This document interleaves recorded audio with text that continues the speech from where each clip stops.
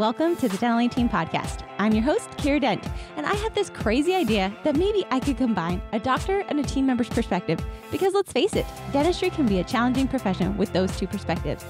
I've been a dental assistant, treatment coordinator, scheduler, filler, office manager, regional manager, practice owner, and I have a team of traveling consultants where we have traveled to over 165 different offices coaching teams.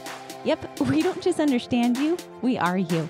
Our mission is to positively impact the world of dental, and I believe that this podcast is the greatest way I can help elevate teams, grow VIP experiences, reduce stress, and create A teams. Welcome to the Dental A Team Podcast.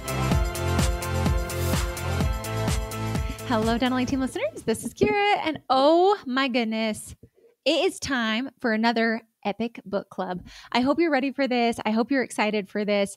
Our book club was Own the Day, Own Your Life by Aubrey Marcus. And this is a really fun podcast that I sure, or excuse me, book club that I hope you guys enjoyed because I feel I chose a book that has so many controversial topics in it intentionally. And so if you read it, rock on. If you didn't, I'll give you some of the book highlights for you. Um, and then you can decide if you want to read it or not. But our team really enjoyed this book. Um, and I've got some really strong health gurus in our company. And, and Dana's probably the one who's the strongest health one. She works out all the time. She's a CrossFit junkie. And she was like, I did not like this book, Kiera. And then I got to the end and was like, he actually had a lot of really good things in there. So what I wanted to point out at the very beginning welcome to all of you guys who are here. Um, my goal on this podcast is to elevate you guys personally and professionally. And so that's why I've been doing a book club um, to show you one, how to do a book club in your practice, things that we do incorporate to just elevate your team because honestly, at the end of the day, I believe the team is what either rises or, or sinks a practice. And so invest in your teams, invest in them personally, invest in them professionally, give them an opportunity. And when we work with offices, I am so big on consulting on tangible things in the practice, but also on consulting on things that are life skills as well. Because again, if we can rise people up as people, if we can show and expand them on how to be these incredible humans, they're going to be more invested in your practice. They're going to be more invested in in other areas of their lives because they're a more well balanced person. Um, today, I did a lot of podcasts. I podcasted with my dear friend Pierce. Um, I podcasted with a Chick fil A owner. I podcasted with a couple different CEOs today. And ironically, the theme going across the entire board was invest in your team. Invest in your team get a good culture and know those people, like allow them to grow and expand. So that's why I chose this book for you guys. It definitely is nothing dental, but it is on discipline. It is on showing up. It is on executing things. And again, very controversial book club today. Um, and so my first comment that I put on my notes was, can you sift through material you don't agree with and find the things that will help out? So, in our day to day, there's so many things through social media, through news, through um, patient opinions, through team opinions that maybe we don't agree with. But can you sift through it and find the things that resonate that are good for you? There are a lot of things in this book that I personally do not agree with whatsoever but there was a lot of good in this book in addition to that and that's actually why i chose this book was to see on things you don't agree with, on maybe a writer that you don't agree with, there's still a lot of good typically within. And can you sift through that material, whether you agree with it or don't, and find the one or two nuggets that could truly change your life? My nugget that I took from this book, he just so that you know the premise of the book is he really goes through all these different ways for you to optimize and enhance your body your life to to be able to maximize and optimize your life overall. And um, I actually took from it to, uh, I've got it right here, to drink at least, he has a little water cocktail in the morning of red Sea salt, water, and a little bit of lemon juice before you start your day um, to replenish our bodies. And he's just this huge, like, meathead kind of guy where he's all about really being like jacked, ripped, and optimizing his body. And it was super cool. I just thought, like, there were so many pieces in there. And so when we did our book club as a group, of course, like everyone kind of lists their highlights, what things did they take away from it? And we wrote like, what things do you agree with? And what things do you disagree with? And when we run a book club in our company, I don't have it as a it's a no judgment zone. That's also how we do our consulting. Any client who comes through, it is a no judgment zone. Come as you are, you're loved, you're here, and we're going to take you on your dream path to get to your perfect world. Um, and so it was a no judgment zone. Like there were things that people didn't agree with, like he promoted a lot of addictive behaviors. Um, and, you know, he promoted tobacco and he promoted vaping and he promoted eating carbs in the evening. And on that, can again, you sift through this material. People are like, Kiera, why did you choose this book for a book club? And then you're going to put it on the podcast. I did it because I really want you guys to see there are things you'll disagree with, but there are some things that you can really do well. So, things that we can do he said make it easy and simple and i love that so like thinking about our work at the dental practice thinking about our lives how can we make habits easy and simple of things we want to take out so on there like things that our team did agree with were have a varied workout plan we don't want to have the same thing same routine day in day out have it be varied have it also be a varied diet. He said, like, get the more weird foods, fruits and vegetables that you can because they've got higher amounts of, of nutrient within it.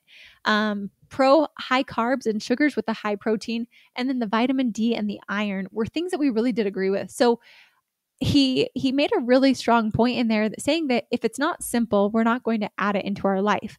And I thought about how can I tie this into the dental practice? If it's not simple, people aren't going to add it in. And that's truly something I teach, preach, coach on in dental offices. One of our core values as a consulting company is ease. The word is ease because I found in consulting and implementing things, if it's not easy, people aren't going to do it. Period. And so I thought about that so much with this book of in our practice, in our personal lives, what can we implement and how can we make it simple? So let's take the working out example. He said, do a varied workout plan. I'm like, well, I don't even have a workout plan. So what's something simple? Literally, like five push ups every day is simple. It's simple and it's easy, and I can add it to my life. Adding water in the morning, super simple. I can definitely do that. I can get the sea salt in there. Very simple. And even if I don't have sea salt, I'm still going to drink the water. Um, and he talked about how to, like, for beginners, weight training and cardio, the biggest thing is starting for the right reason, not doing it for losing weight, but going in with a focus of getting healthy or um, lifting heavy weights because you can do more with your everyday life. Like thinking about strengthening our muscles, strengthening our bodies so we can do more with our everyday life. Again, if I can do that personally, I show up better for my family, for myself, for my friends, for my coworkers, for my job. So why not do that and move your body, move it with a purpose, have that varied diet and workout. Um, and then really it was like, how can we start this is track what you eat. And then you know what you feel and what you can change or not change. Track the workouts, what things are working for you. So, just a quick overall highlight of some of the things that you could do within. Um, he had the mineral cocktail in the morning, talked about power napping. This is one of my favorite things because I am a huge advocate for sleep and I am a napper through and through and through, and I love it. And so, with that, um, he talked about the REM cycle and how the REM cycle, if we can take a power nap for 30 minutes or 90 minutes. We don't want to stop within that 30 minute thing because once we hit that 60 minutes, we're in a deeper REM. So, in that 30 minute or 90 minute window, you'll actually wake up less groggy, feel more rejuvenated. They even proved that it was better than doing like coffee or a monster drink. So, I know when I used to work in a practice and had my my lunch hours, I would quickly eat food. Um, I would take like maybe 15 minutes and then I would go to my car and I would sleep for 30 minutes. And I am a pro power napper. I love it. And so I've been actually, since reading this book, taking a lot of power naps. So, um, another cool thing that came out from this book was like waking up with the sun if we can. Like sometimes we can't, but if we can get our bodies on those circadian rhythms where we wake with the sun and we go to sleep with the when the sun's down, your body will actually operate more more routinely. Um, he also talked about go to war against sugar. And this is one I have yet to implement, but probably should, of just how we know the things that are not serving our bodies. And let's try to avoid those as much as possible. So even if that means we cut down a little bit here or there, like 1% every single day, that still really can be a positive uh, they also talked about not being afraid of fat. And as a female, I've always been afraid of eating fats, like trying to gain weight muscle, but those fats really can benefit and serve our bodies if they're the healthy fats. So, avocado, um, olive oil, those healthy fats, and getting more of those healthy fats in our diet can help you a lot, along with the prebiotics and the probiotics to protect your gut health. And Dana, she's got a really special connection. One of our consultants, Donuts with Dana. If you haven't heard of her, you should by now. Um, but protecting your gut health is something that Dana is very passionate about. She's got a personal story around it. But she said those prebiotics and those probiotics really can enhance that gut health from someone who has had firsthand experience with needing to protect her gut health for for um, like health and living purposes. So, um, and then my last favorite part of the book was go interact with a human because it will do more for you than sitting by yourself. And he really talked at the very end of the book of this innate need for human connection and how we don't really work in communities anymore and we don't really bond and share our real lives. Instead we're kind of like locked up in our homes and um, and how human connection is so necessary to fill and feed the soul. Like you talk so much about fueling and feeding our bodies but in addition to that feeding our souls. And i just think how often do i take time to feed my body right to feed my mind right to feed my soul right um, I oftentimes feed my business right. I feed other people around me right with my time, energy, and efforts. But do I take that time to really soulfully fill my soul with eating right and eating healthy and what's good for me mentally, um, and then connecting on my soul level? So just taking some of those pieces in there. Um, and I just felt like this is something that really, really can enhance your life. It can it can be so empowering for us to to optimize in just small little ways. And um, i think with this book i really had to caution myself of one i didn't agree with quite a few of the pieces in there. So does that mean i'm going to discredit it and not implement it? Or am i going to take the things that i do agree with and actually make make this book and this time that i spent worthwhile in my everyday life? And the answer is yes. I i'm committed to drinking water I am committed to working out and and I am committed to spending more time with friends and filling my soul. So I just want you to see what could you do right now to help yourself a little bit more. And we can break it down very simply. I think there's kind of four categories discussed of your body, right? Physically, and then our minds, fueling our minds and our mental health, and then our soul at a soul level, and then there's the work level and all those different things. Which category do you do well? I know I'm really good on the work level. I'm doing better on the soul, making sure I shut off work and spend time. But this fueling my mind, I do quite a bit of meditation, reading the things I talk about myself, but it's more my physical would be the area of what could I do to help myself a little bit more to enjoy this life, to be a little bit happier. And so, a little bit of a unique topic, but I really do believe if we can make it simple, in business and personal life. And we're looking for little ways to just optimize the small things we do. Let's cut out sugar. Maybe it's like Fun Friday is the day of no sugar. Okay, we make it fun by other things, but we're not going to indulge in that. Or maybe we can cut out other things that aren't serving our bodies. Or maybe it's Fun Friday and that's the day that we fill our souls and we it's it's Fun Friend Friday, um, where we we just make a, a special point to go and be with human interaction and connect. Like shut off our phones, disconnect from our phones, go be with people. How can I be more intentional with work, um, taking care of my body, power napping, different things like that? But really, for you guys to look, how can I optimize? How can I make this even better? How can I be just a little bit better? Because at the end of the day, and my friend Pierce and I, when we chatted, he gave me a good visual that I think really ties to this book. And it is at the end of my life, when I'm walking across that finish line, how do I want to be walking? Do I want to be in a wheelchair? Do I want to be confined to a bed? Do I want to be walking across it? Do I want to be running across it? And for me, I want to have health and vitality running across that finish line. But if I'm not doing things today to prepare for that, my body's not going to be able to perform. My body is a machine. My body is a mechanic, just like we take care of our cars. We fuel them with good gas and oil changes, make sure that they're taken care of so they can run and operate for us. Our bodies are machines. We get the experience to live through them, but they're machines that we need to take care of to optimize, to fuel correctly.